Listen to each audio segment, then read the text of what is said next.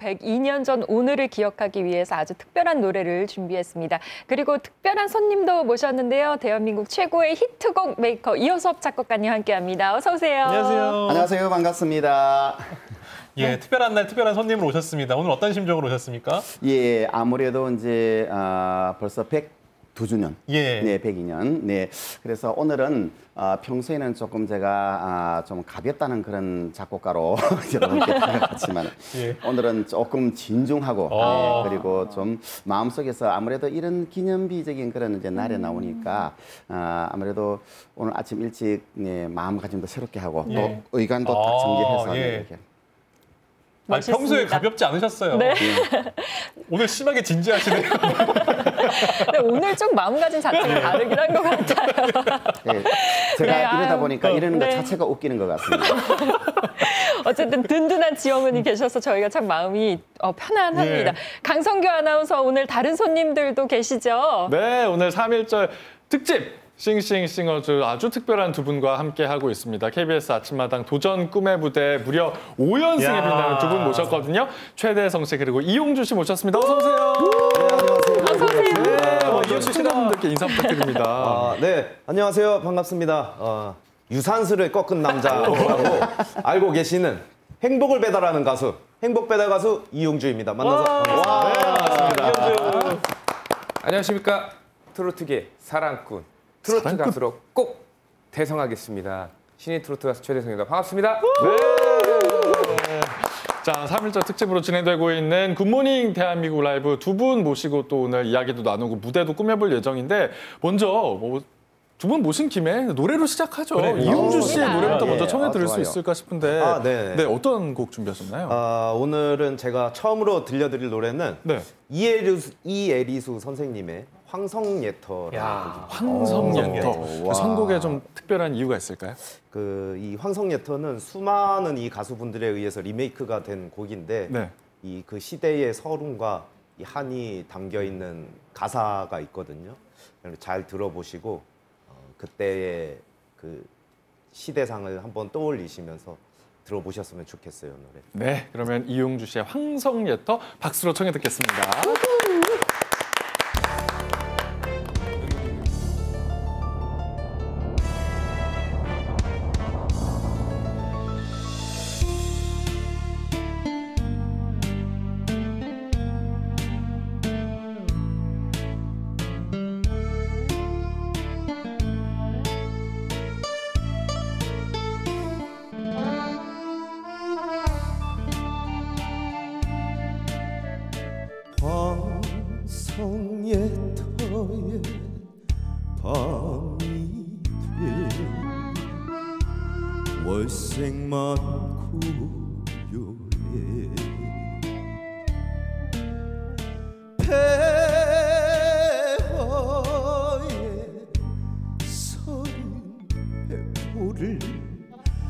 알아여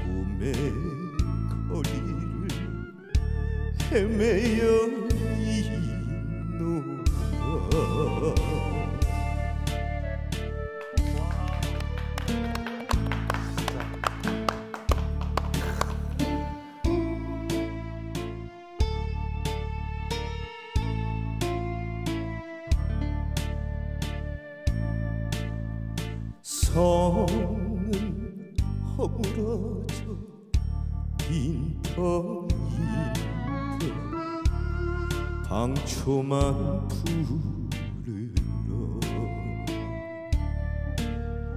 세상이 허무한 것을 말하여 주노라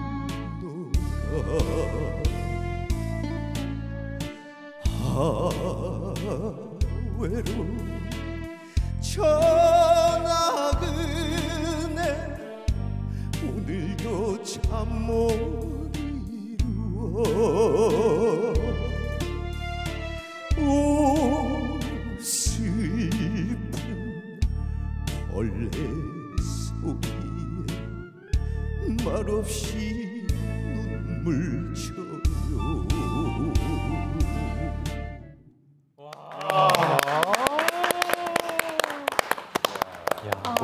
슬프게 불러요? 마음이 참 가사도 그렇고 아리네요. 나는 그 이용주 씨 노래 저렇게 잘하는지도 오늘 처음 알았네요. 아, 원래 잘하시는데요. 이호섭 네. 작곡가님 어떻게 보셨어요? 예, 역시 우리 어, KBS 아침마당 네, 도전 꿈의 무대 5연속 5주 우승자다운 정말 깊은 그런 한이 스린 감정이었죠. 어, 이 노래가 이제 만국의 한을 다니는 그런 소재를 갖고 있는데 네.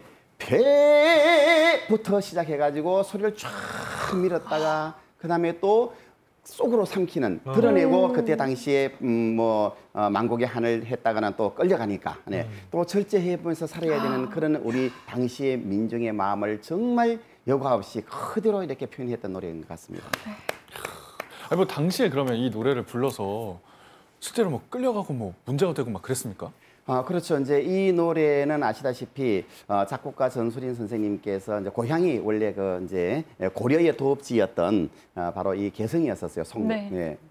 송도. 아 그래서 마늘대에 가가지고 네 옛날 그 고향을 찾았는데 어, 거기에 500년 그 화려했던 고려의 도읍지가 다 왕성히 무너져가지고 잡초만 무성한 걸 보니까 이게 결국은 나라를 빼앗기는 우리 에, 한이 거기서 저절로 샘솟는 거죠. 그걸 가지고 이제 곡으로 만들었던 작품이었거든요. 네. 그러다 가지고 이제 어, 그 해에 이애리수 선생이 네. 단성사에서 이 노래를 이제 공연을 했는데 예. 오셨던 분들이 노래를 듣다가 거의 뭐 아주 까무러칠 정도로 그렇게 에, 슬픔을 네. 토했다는 얘기입니다. 그러니까 일제 순사가 놀래가지고 막 네. 언론은 이제 제지를 하고 그래서 나중에 이제 금지 가요로 지금 나오고 있죠. 예, 네. 이게 원곡이군요. 예. 참 민족의 가인이라고 하고 그렇게 일컬어졌던 이애리수 선생인데 어, 그래서 결국은 금지 가요가 됩니다. 네 그리고 그때 공연에 참여했던 분들은 또 경찰서에 끌려가서 또 그리고 고초를 겪게 되죠. 그 이에리스 선생님께서 이제 국민 가수 반열에 오르- 오르셨잖아요. 아, 그럼요. 예. 원래는 이제 어, 연극 배우로 이제 하시고 네. 이렇게 하셨는데 예, 나중에는 이제 이 노래로 최고의 이제 반열에 오르시고 어, 그런데 또 한 남자를 사랑하게 돼서 나중에는 어, 그냥 평범한 아내로서 평생을 이렇게 지내시다가 99세를 일기로 해서 세상을 그러셨군요. 떠셨습니다. 네. 이렇게 듣는 입장에서 어, 너무 구슬프게 들렸는데 부르는 입장은 또 어땠을지 저는 상상이 안 되거든요. 어떤 감정이 듭니까? 부르는 너무 입장에서. 멋져 보여 이용주 씨. 가사에 어. 주체할 수 없는 이 서름 그런 감정이 제가 뭐 그 시대에 살아보진 않았지만 이 저희가 또 교과서를 통해서 배우지 않습니까?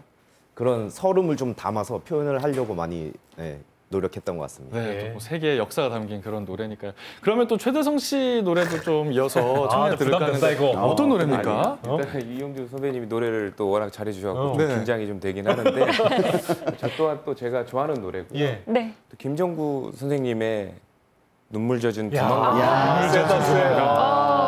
야, 그러면 좋아하는 노래고 최대성 씨의 눈물 또 젖은 슬픈 두만강. 사연이 있는 노래라서 한번 예. 네. 멋지게 한번 아, 아, 또 사연이 있습니까? 예. 그럼 사연은 그럼 노래를 듣고 한번 아이고. 이야기를 들어보도록 하고 최대성 씨의 눈물 젖은 두만강 박수로 청해 듣겠습니다. 예.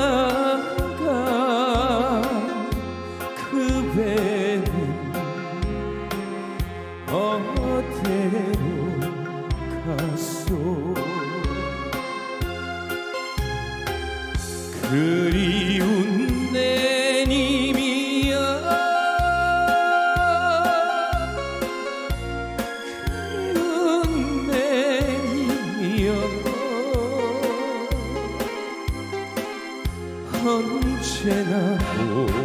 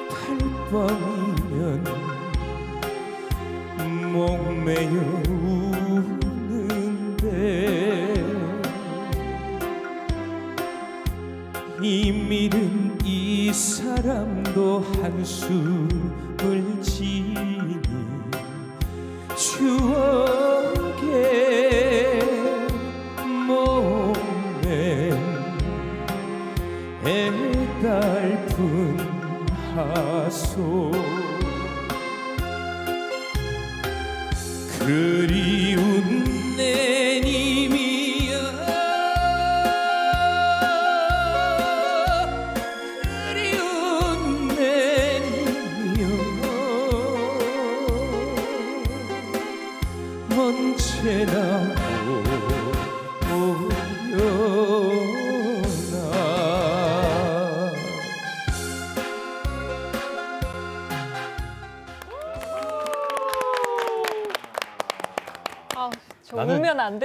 이용주 씨 때문에 긴장할 줄 알았는데 만만치 않네요. 아, 만만치 않아요. 어마어마합니다. 예. 작곡가님. 네, 와 제가 김정구 선생님의 노래로 우리가 평생 이 노래를 많이 들어왔었잖아요.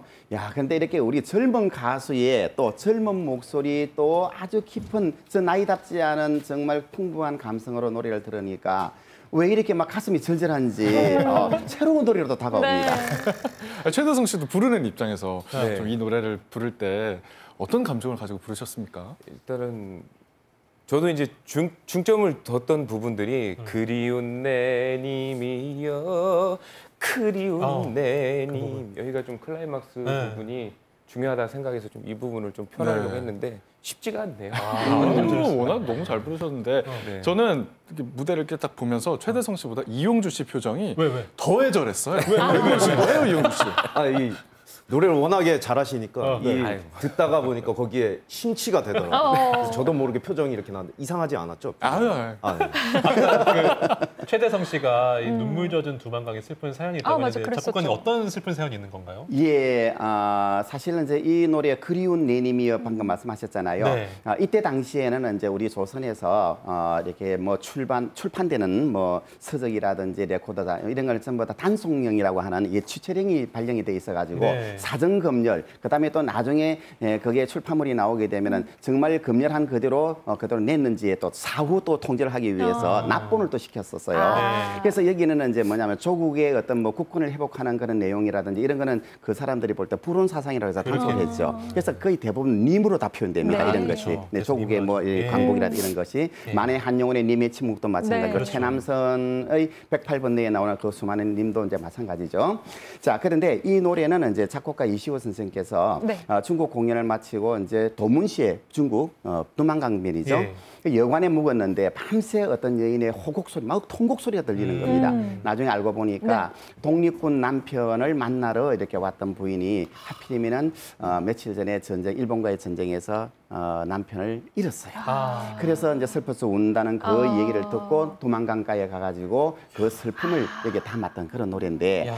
에, 나중에 이제 김정구 선생에 의해서 네. 38년도에 어, 음반으로 나오게 되죠. 네. 근데 이 노래도 43년도에 또 금지가 되고 맙니다. 음. 자, 이런 이제 에, 노래는 60년대 들어서 어, 우리 KBS의 그 라디오 드라마 김사과과 북한 방랑기기 네, 여기에 네, 테마곡으로 사용돼서 또 더욱더 우리한테 애절함을 많이 더했던 노래죠. 아무튼 뭐 사연을 또 이제 듣고 노래를 다시 복귀해 보니까 네. 좀더 노래가 감명 깊게 들리는 맞아요. 것 같고 슬프게 들리는 것 같습니다. 음. 오늘 이제 이호섭 작곡가께서 이 두 분에 대한 약간 좀 평가를 하고 계신데 어, 이 평가를 할 수 있는 이유가 어, 물론 히트곡 제주기시도 네, 하지만 네.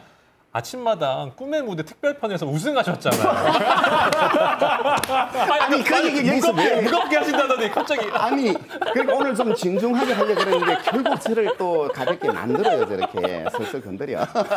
아, 사실 뭐 우승하긴 했습니다만 네. 그때 네, 멤버 구성으로 봐, 봐가지고 우승을 하지 못하는 게 오히려 제가 망신이 정도로. 네. 근데 그분들도 정말 잘했는데 네. 아무래도 이제 음악 전문가는 또 이제 저, 저밖에 그때 없던 상황이라서 뭐. 부끄럽습니다. 그, 그 당시에 저 이영주 씨랑 최대성 씨 무대도 예전에 보셨나요? 무대 아? 저희가 꾸준하게 잘 봤, 어. 봤죠. 네. 네. 사실은 이제 이용주 씨가 오- 연속 오주 우승할 때 하고 음. 또 최대성 씨 이제 어, 연속 오주 우승할 때도 네. 제가 다 지켜봤는데 참 우리 가요계에 큰 이제 별이 지금 만들어지고 있다 이런 생각을 하면서 참 흐뭇한 마음으로 지켜봤습니다. 야, 아니 뭐 이용주 씨 같은 경우에는 왜 네. 저희가 매주 뵙잖아요. 근데 맞아요. 가수 이용주 씨는 이렇게 또 처음 뵙는 것 같은데 네. 가수로서 이렇게 성장했던 계기, 시작한 계기가 뭘까요? 아, 저도 뭐 매주 이렇게 리포터로 이렇게 서다가 네. 오늘 또 여기 앉아 있으니까 또 이 마음가짐이 또 색다르네요. 제가 이 가수 시작하게 된 계기는 이 한 20대로 거슬러 네네. 가서 제가 그 원래 토목가를 전공을 했었어요. 어? 이 노래랑은 이제 전혀 상관이 없었죠. 그런데 친구들하고 20대 이제 작은 이제 동네에 있는 술집에 가게 됐는데 거기서 우연히 노래 자랑을 하게 되는 거예요. 그래서 친구들하고 이제 제가 나가게 됐죠. 그 노래 자랑에. 네. 어. 잘 부르니까. 어. 어, 저는 잘 부르는지 몰랐어요. 나갔는데 어, 1등을 시켜주시는 거예요. 몰랐는데. 그 이제 예, 그 오신 이제 뭐라 그래야 되나 고객분이나 그래. 고객분들이 이제 그 투표를 해주시거든요. 근데 거기에서 제가 1등을 하게 된 어. 거예요. 어. 그래갖고 그날 먹은 이제 그 테이블에 있는 모든 음식들이 무료로 이제 제공이 됐어요. 저희가 뭐 20대에 돈이 있겠습니까? 또 갔죠. 아, 또 나갔습니다. 또 1등을 했습니다. 또 주시는 거예요. 네. 그게 계속 이제 이어지다 보니까 아 이거 내가 노래를 하니까 이 관객분들의 반응이 아 조금씩 생기는구나. 내가 노래를 해봐야 되나? 라고 그때부터 좀 생각을 했던 것 같아요. 야 이게 주점에서 그냥 길거리 캐스팅이 아니라 주점 캐스팅으로 그 맛을 알아버리거든요. 그때는 제가 또 이 개사를 약간 해서 불렀었는데 네. 그때 그 박상철 선배님의 무조건을 불렀었거든요.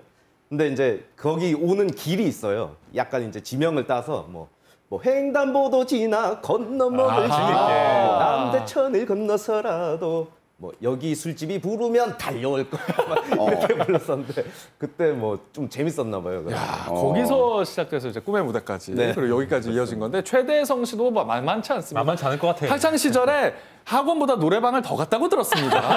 어떻게 된 거죠? 어, 어린 시절부터 되게 저는 가수가 꿈이었었어요. 네. 초등학교 때부터 꿈이었었는데 어, 제가 이제 하라는 공부를 안 하고 노래방 이제 동네에 있는 노래방에서 계속 이제 그냥 출석 찍듯이 가가지고 이제 연습을 했었어요. 그래서 전국에 가요제가 생각보다 많더라고요.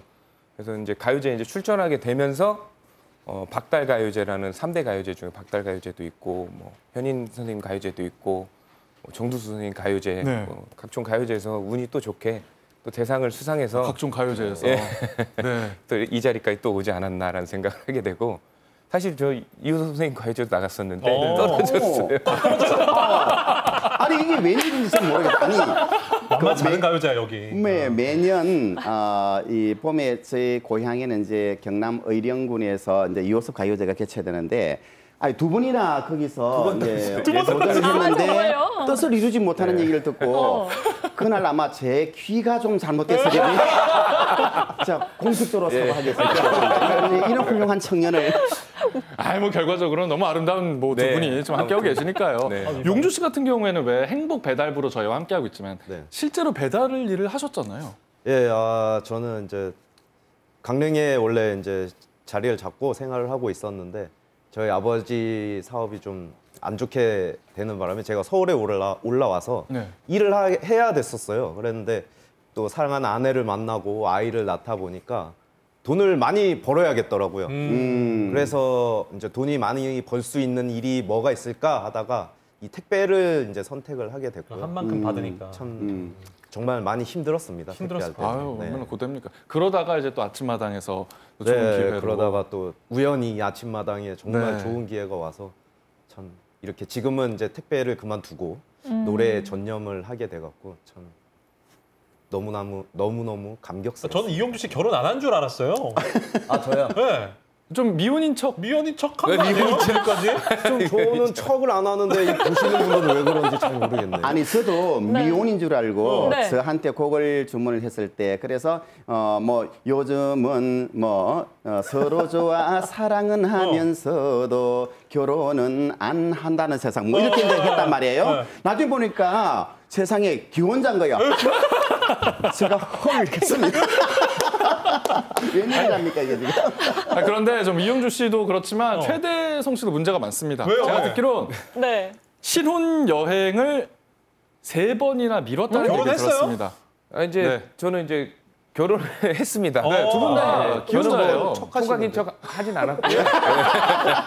저는 결혼을 했고 심지어 아침마당에 네. 계속 같이 나왔어요. 네. 와이프랑 같이 나왔고 이 세 번이라는 단어가 좀 신기하게도 결혼하고 나자마자 신혼여행 날짜가 잡히잖아요. 아 그렇죠. 근데 그 날짜에 오디션 프로가 한창 트롯이라는 아, 오디션 프로가 유행이 되면서 유입이 되면서 이렇게 한 번 잡히길래 연기를 했어요. 네. 한번 연기하고. 어. 아내 입장에서는 네. 이게 언제 평생에 올 그렇지. 안뭐 올지 다- 다음에 가면 되지. 중요한 모르니까 한번. 해봐라. 음. 그래서 연기를 했는데 예선 탈락.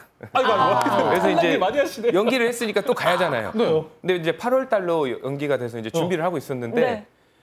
그 8월 달에 오디션이 또 생기 또 같은 날짜에 또 겹친 거예요. 왜 겹쳤어요? 네. 그래서 그래서 이제 와이프 입장에서는 어, 해. 해야지 뭐. 해야죠. 무슨 이미 거. 시작했으니까. 네네. 그래서 했어요. 근데 이제 한 본선 무대까지 갔는데 또 탈락했고. 아이고 아이고. 그래서 야 이거 힘든 거구나 했더니 제일 이제 큰 무대인 이제 미스터 트롯이라는 아, 네, 네, 어. 네. 프로가 이제 세 번째 오디션을 미, 이제 신혼여행 미뤘는데 그때 네. 또 잡힌 거예요. 어떡해. 그래서 이제 거기를 나가서 어 했는데 이제 거기서도 이제 탈락은 했죠. 탈락은 했었죠. 거기서. 그냥 여행 갈 걸 그랬다 그럼. 앞으로도 못 갈 것 같아요. 그게 다 쌓인 거예요. 가기는 힘들어 보여. 근데 몸이 미스터 쌓이는 트롯에 네. 나온 거를 제가 기억을 잘 못하겠는데. 그렇죠. 네. 못, 못 하시겠죠. 왜 왜요? 네. 왜? 통편집 됐어. 아, 아이고. 아이고. 예, 통편집 됐고 저렇게 잘생겼는데. 왜? 사실 그때 충격이 좀 많이 와가지고 제가 어. 불면증도 있었고 어 그때 성대결절이라는 진단도 받으면서 좀 많이 힘들었었거든요. 그러셨구나. 근데 음, 그때 이제 저희 힘이 되어줬던 이제 아내가 음. 네. 임신 소식을 전해주는 거예요. 아, 저한테. 좋은 소식이 있었네. 어, 축복이. 그래서 아 이거 아기 사진 나오네. 아기. 지금 몇 가수- 살이에요? 지금 이제 딱 170일. 아이고 170일. 아이고 네. 귀여워라. 아유. 아유 귀여워 죽겠네. 이름 이름 착하네요. 이름이 뭐야 어. 이름이? 이름이 뭐예요? 어 최도경입니다. 아, 도경 도경이. 예. 아, 축하해요. 아유, 귀여워. 축하드려요. 하여튼 도경이 정말. 덕분에 또 이겨내시고. 어. 사실 저희 그 도경이가 복덩인 것 같아요. 음. 그러니까 도경이가 들어오면서부터 어 지금까지 맨날 편집 당하고 예선 탈락하고 했던 게 아침마다 오연승에서 뭔가 한을 푸른 그렇지 네. 그렇지. 아유. 앞으로도 우리 도경이 때문에 더 잘 될 것 같아요. 맞아요. 네, 아, 그럼요. 그럼요. 두 분 다 지금 뭐 워낙 많은 분들의 사랑을 받고 계시니까요. 네. 그러면은 계속해서 무대로 한번 이어가겠습니다.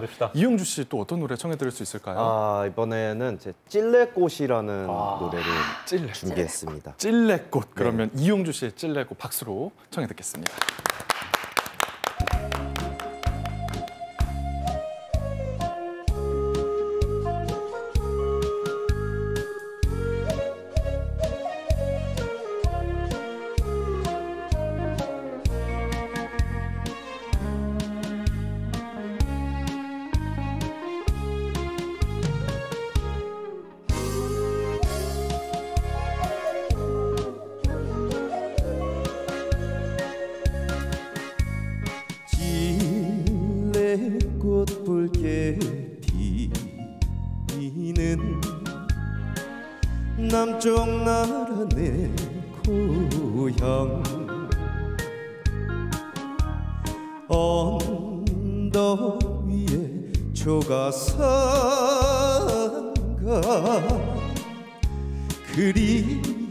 그립습니다. 자주 걸음 입에 물고 눈물 젖어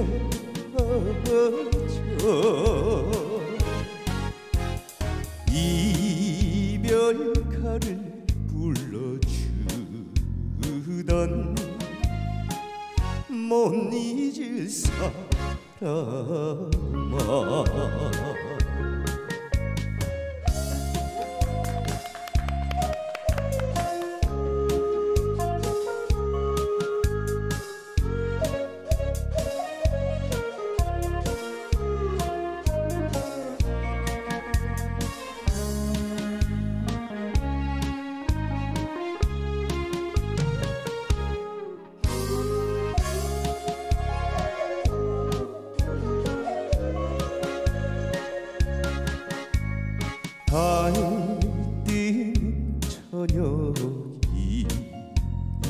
저녁이면 노래하는 새동무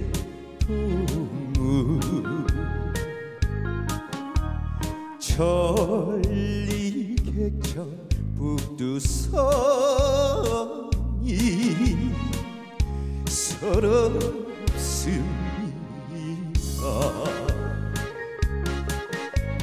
작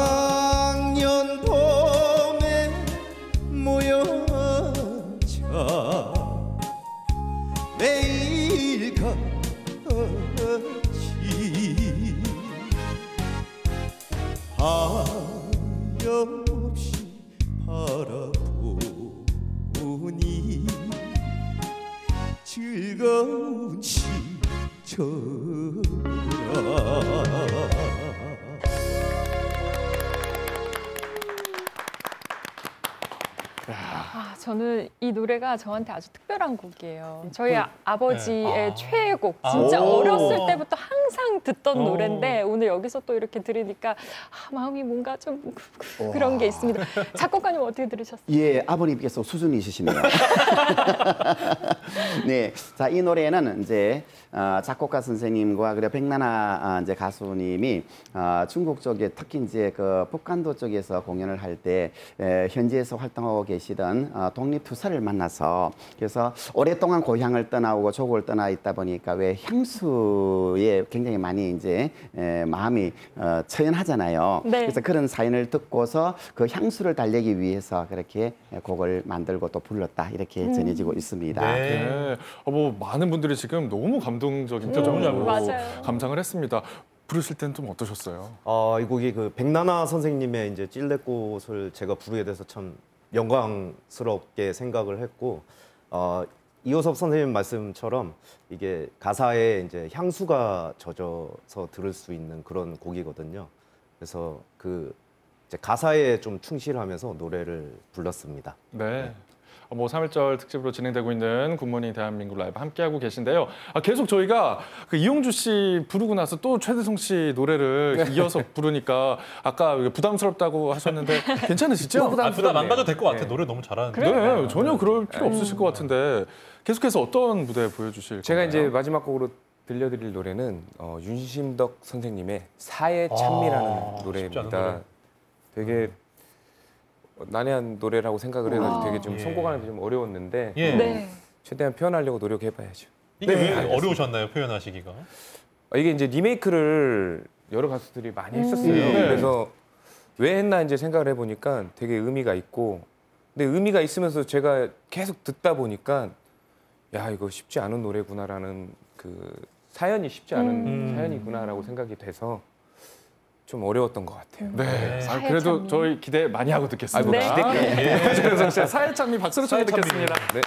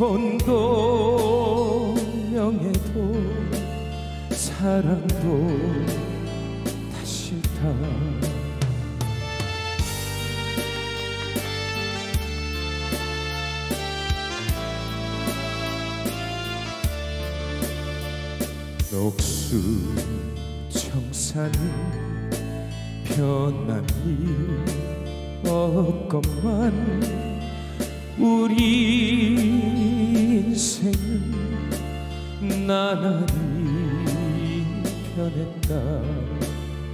이래도 한 세상 저래도 한 평생 돈도 명예도 사랑도 다 싫다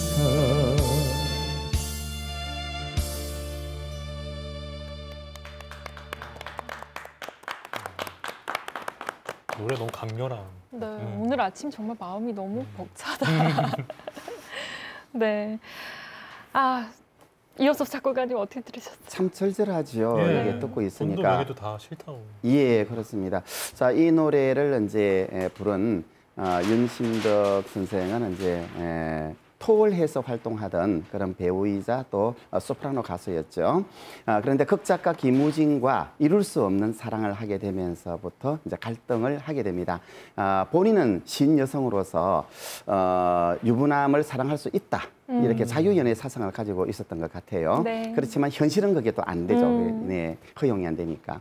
네, 그런 갈등 속에서 결국은 이제 사랑했던 사람과 현에 탄 아, 깊은 물에 네, 동반 자살을 함으로 해서 당대 큰 센세이션을 일으켰던 그런 네. 분이었습니다. 네. 네, 오늘 뭐 특별한 시간 함께 하고 있는데요.